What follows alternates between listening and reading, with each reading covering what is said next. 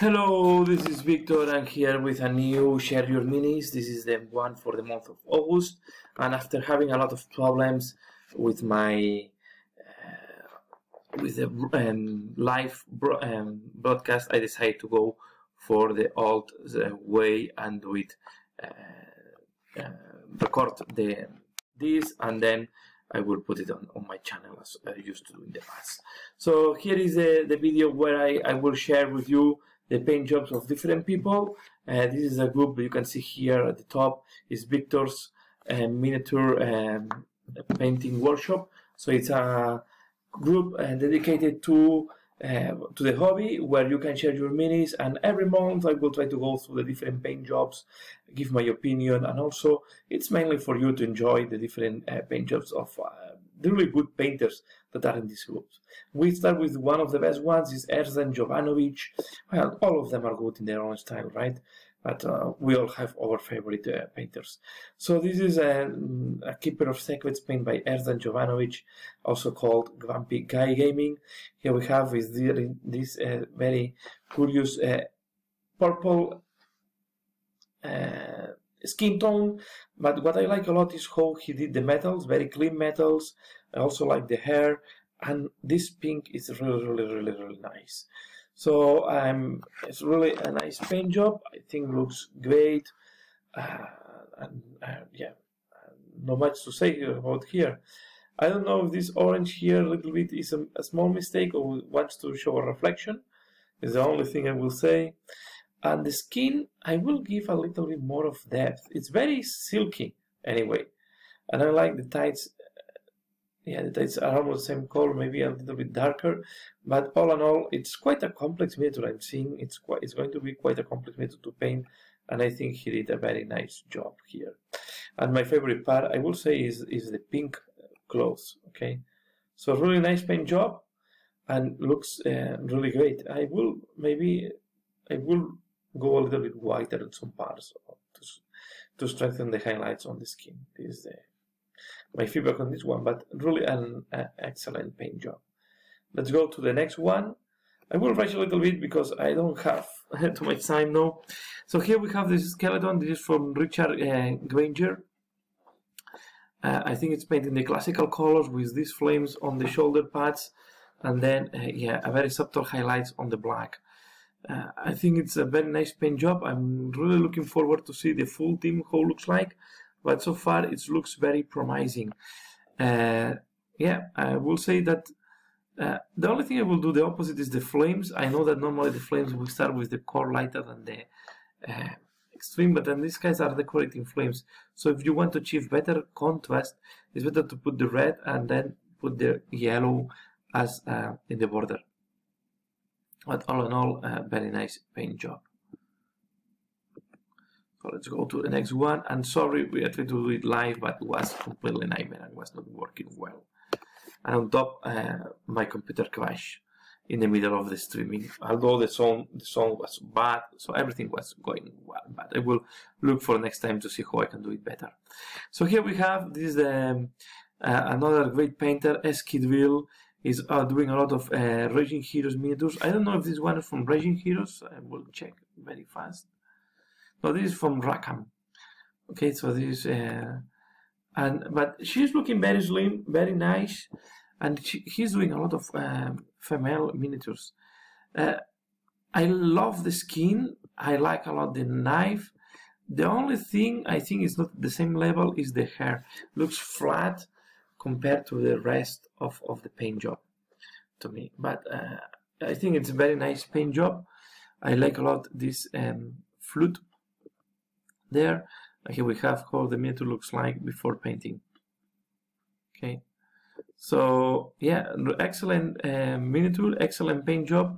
And I will ask you to relook. I will if I was you I will relook the hair. I think it's looking a little bit flat for the level that you can deliver here we have another miniature this is from again Richard Granger he's posting quite a different uh, variety of miniatures uh, this is one of the uh, underworld um, Bloodbound guys okay uh, and yeah he's jumping uh, into Underworlds with Garrek uh, Gorebeard. So he's the uh, yeah, this is the leader of the Warband. We'll go down in that because the picture is bigger.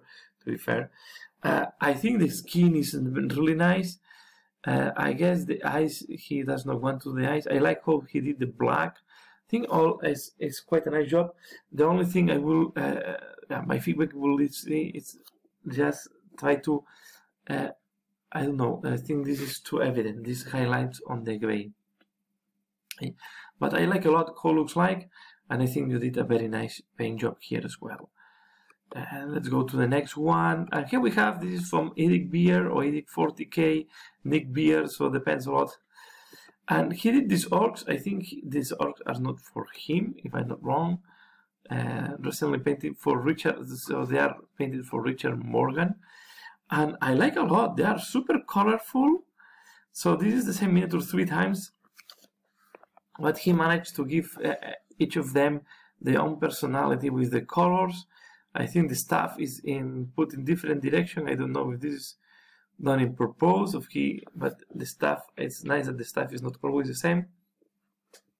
I like a lot the punk uh, squig that has on the base, and and they look excellent. Uh, I like a lot the highlights.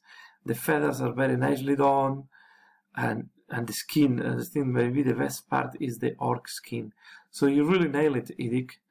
Oh, and I love this cape. So really excellent job. I don't have too much to add to this. So you did an excellent job on these guys. And here we have more orcs.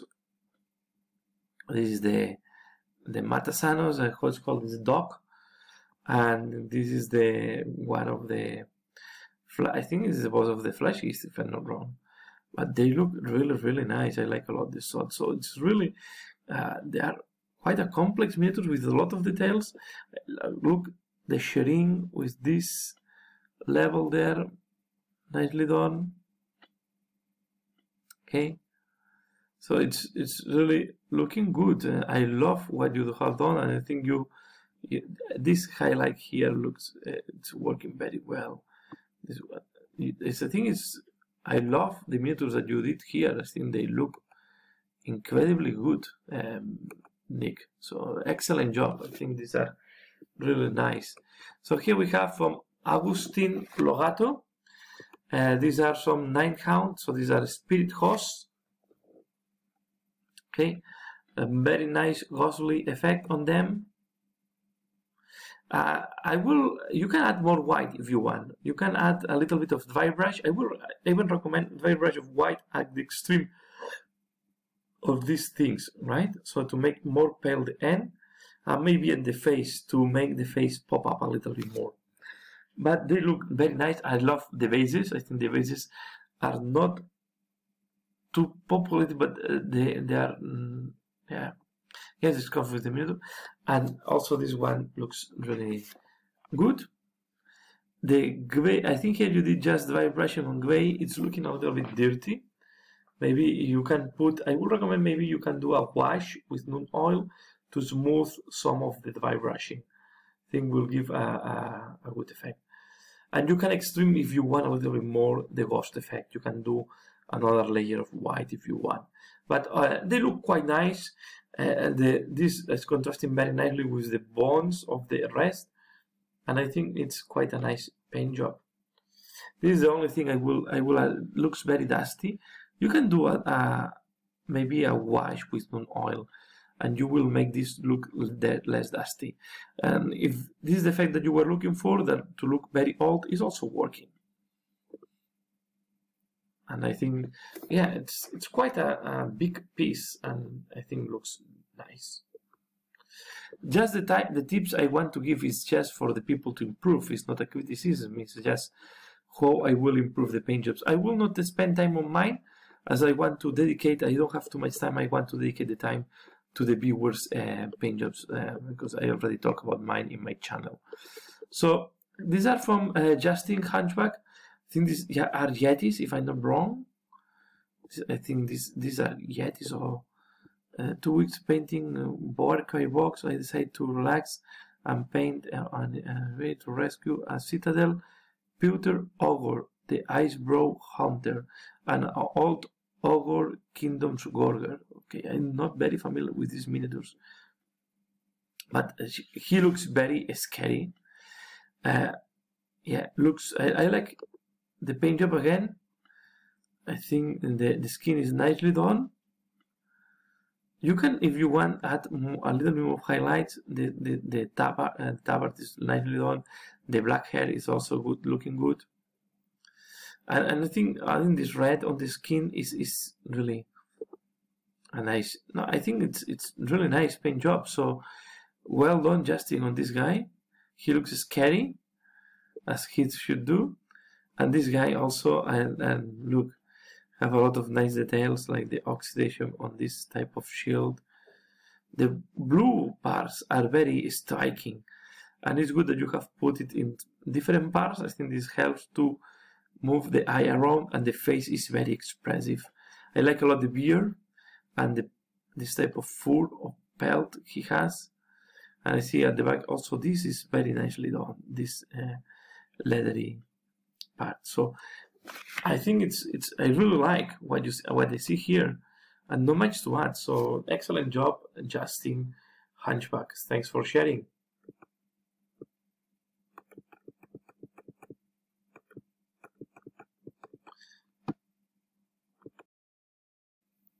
Here we have uh, more work from uh, Richard Granger, uh, week done uh, of my road to Mortarion pledge. So here we have uh, some Death Guard painted. Okay, uh, the he has also doing this basis. I will recommend you to do maybe a small wash on this base. It looks too flat, right? Uh, I will do maybe a wash with um, Seraphim Sepia. Will give some brown tonalities. Will will combine very well with this. Will make it to look better.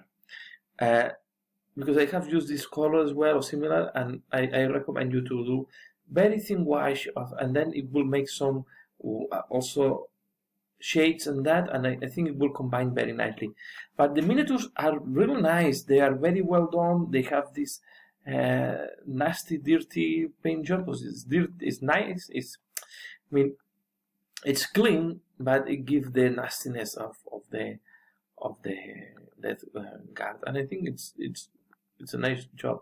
And if I don't remember but these are here here we have some pictures but these are not that good. So uh, nice nice um, paint jobs uh, and they look great. So uh, I want to see more of you and if you do Mortarion I'm looking forward to see it. But I will say that on the base just add a little bit of Seraphim Sepia it will add a lot to this green and I think it will look much better here we have more paint jobs from Ersan Jovanovic he's doing a lot of these uh, knights and titans for uh, Adeptus Titanicus. So these are uh, Cerastus knights for Adeptus Titanicus, nice models. They look quite scary as well. So, and he have done this paint, this type of color scheme before. Uh, I think he's really mastering the paint job on this, uh, giving this weathered effect, so they look really that they are fighting, not overdoing, because also weathering, the important thing is not to overdo, uh, but it's giving this, uh, but it's integrating them well on the battlefield by adding this uh, weathering in some places like here. You see small, small chip paint here, here. Also, the, I will say the gold maybe is the flatter part. The brass part, you can add maybe some uh, shade uh, around the some of the rivets to put some brown shading but on all they look uh, very nice as well you see the, paint chip is nicely done. Very, uh, it's adding a lot. here it's more weathered. Maybe the picture is not making justice. And sometimes some colors are not giving a very nice contrast when you do pictures. I like a lot on, on the white how the weathering here. This one on the top is it's really nicely done. Okay, and I think uh, he's painting a lot of these knights. He has uh, some commissions as well on painting them. So here I have more of my stuff. As I said, I don't want to spend time now as I don't have too much time. Here we have these um, orcs. Just me check one thing. So now we are with some uh, bikes from uh, Grumpy Guy Gaming uh, he's mastering the paint job on on uh, Erzdan as well. He's mastering some of these Alba moons, and he's mastering the yellow on the on the orcs. I think it's, it's really doing a great job. And I realized yellow it's can be a hard color to paint sometimes, but it's a color that it's very nice for weathering. Okay, the browns, the paint, the chipping paint, and all this type of stuff will work very well on yellow. You can see all this uh, dirtiness added there here on the shoulder pad. Uh, this works very well on yellow. On red, it's going to be much harder to say. Uh, red is easier to paint in a way, but it's more difficult because it's so a mid-tone that browns are not popping up as they can do on yellow, on whites, on grays. So, and this is why yellow is an excellent color to do these bikes as well. Okay, from artistic point of view, I know that the orcs go faster in red anyway.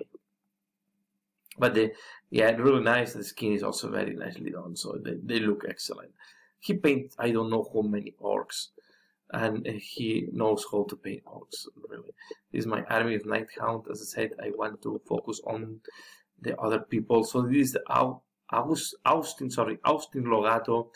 He's posting quite regularly as well, and he has a lot of Nighthaunt painted. These are the um, Glyph Stalkers okay and I um, yeah this is the guy with the tam tam so nicely done I think the the maybe they are the picture is a little bit overexposed but I like a lot this green and for me and also the weathered weapons so uh, the brown here I think you can uh, it's not looking I will go more for ochre for this type of for this part of, of the of the this drum, right? But I think and yeah, I like the dustiness and look dusty of, of the of the clothes. They look old, they look scary, and they look ethereal. This maybe it's a little a little bit too dusty. I don't know with the dry brushing you have a lot of texture everywhere. Uh, on the hair is the part where I will not go that dusty as looks here. Okay, I know it's quite magnified because this mirror is not that big. I like a lot their eyes. I think you did a very nice job on the eyes. I think that this type of uh, effect goes well on the clothes and the rest on the face. I will not do it on the hair. I think for the hair, I will go more for uh, like edge highlight, more uh, a different type of techniques. But uh, it's looking quite nice as well. Okay, it's it's nice miniature, and I think I should pick one for my army. And I think this is the best guy of the ones that you are displaying now. And looks like that you have magnetized the the uh, hands to be able to have uh, the two options, right? Yes, here we have with the other option. Uh, nicely done. I think the, this green with the bone and the purple they combine very well. Uh, and the only thing you can add a little bit of brown on the weapon okay uh, not as as weathered as the ones from the um, Glyph Stalkers but you can add a little bit of brown the shading because it looks quite flat the weapon. A little bit of wash of Agrax shade very soft. It will give a very nice touch there. Bones nicely done I think. And, and yeah this, they look quite scary with all these skulls there. So nice, nice paint job. Anyway, they look very nice miniatures. And they will look excellent on the battlefield. So thanks for sharing, Austin. And looking forward to see more next month because I like a lot what you paint. Again, more of my minis, not to show. Here we have from Richard Granger. I like a lot this. Uh, I think he did an excellent job on these ones. The skin is looking putrefied it's looking bad. Uh, you can put more pictures, Richard, next time. You always put just one picture of each of your paint jobs. Uh, we, you can put more pictures so that we can see them from different angles. As I said in the previous one, do, do a soft wash of Seraphim Sepia. It will improve a lot this green and will make it look even nastier. okay because we'll look like uh, we'll make like um, yeah water effects or something like that on, on the on this green and I think we will we will give a very nice combination I like a lot this guy here uh, with the the, basing orange and black. Thing uh, but the best part is this scheme with these purples. I think you you nail it there. And looks really really really nice. Thanks for sharing Richard. This is more of my paint jobs. I have been a very productive month for me. Here we see uh, and just you can also share if you want. If you have any blog or videos you I, I'm, it's welcome to be shared here here we have again from Austin Logato and more of these. How these guys are called? I don't remember. These are Morghast yeah Morghast so here we have again magnetize to be able to have the two options. Very clever from your side. And uh, I will give just the same feedback as before. Add a little bit of brown shading on these weapons. It will look less flat because now it looks like just uh, too flat compared to the rest of the miniature that is very nicely painted okay nicely done yeah they look really really great and this time I see them I see new, new details I have not realized this type of spirit there before. So excellent. Here we have the lady, uh, Lady Olynder. So and you add this. This is very clever from your side. I think this uh, this is something that yeah I should have done because this miniature is very wobble. Okay, so this will add a lot of uh, uh, yeah, will minimize a lot the vibration of this miniature. Because when you try to paint this miniature, everything is wobbling, trembling, it's difficult. I love the green and will match so well with your army. I think you have done very nice. I think it may be the best giving you have done. It's, it's completely mixed and you have pop up the face here. It's visible, so real nice. Well done, and I like a lot the idea of using this uh, uh, these pillars or this part of the uh, mausoleum to add more uh, support to the miniature. Really, really nice. Yeah. And here we have the corpse chariot, I think it's called. I think the, the picture is a little bit overexposed to bright, but nice work on the wood. Okay, I will add some oxidation on the bell. This in type of green bluish oxidation the zombies look uh, really nasty I think you uh, again I, like a lot the undead the char this chariot is not one of my best I love miniatures but I think all in all you did a good job. Have more we have more of my miniatures. As I said I managed to paint a lot this month. And this is from uh, Justin uh, Hunchback. Here we have, this is uh, the Deathbringer, Exalted Deathbringer with, um, I think with a spear or glaive. Uh, he's adding also this blue, and I think this is better than the Garrek. It was the same. I like a lot the skin. I think you have done a very nice job. The skin is popping up very nicely.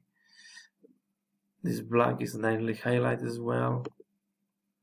Excellent job, Justin looks looks uh, really nice love what you have done here looks excellent and yeah it's a pleasure to see these paint jobs. I have not seen it. I think I missed this before so I will give you a like I think it's deserved. Uh, I will review later on. And this is all for this month. So I just rush a little bit. Sorry for that.